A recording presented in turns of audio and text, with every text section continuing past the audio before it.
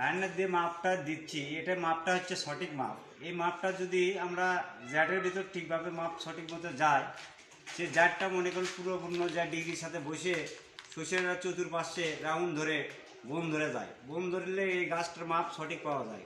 কিন্তু গাছটা যখন মনে করেন যে কাটিং বা বোর এলোমেলো হয়ে যায় সেখন দেখা যায় যে এক পাশে চাপিচ্ছে, এক পাশে চাপিচ্ছে না। সেটা তাতে বন খারাপ হয়ে যায় এবং তেলটা অ্যাকুরেট আসে না।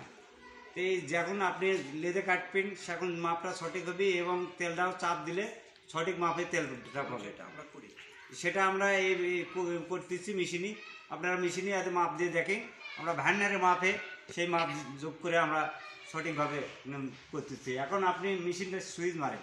সুইচ মারে দেখেন যে মাপটা সঠিক আছে কি না আপনি চালান মেশিন চালান। মেশিন চালান।